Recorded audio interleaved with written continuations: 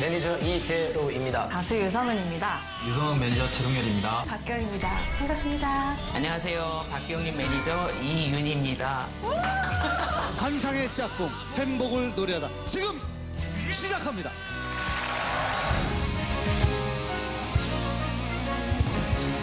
바쁘게 살아가는 순간 속에도 우린 서로 이렇게 아쉬워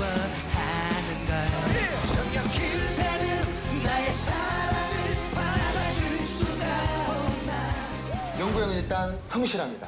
채찍질도 잘하지만 당근을 잘 줍니다. 단점도 많습니다. 난 너를 사랑하네 이 세상은 너뿐이야 최영열 이사님이 원래는 가수의 꿈이 있었어요. 자기 꿈은 연예인이 아니고 셀럽이 되는 게 꿈이야.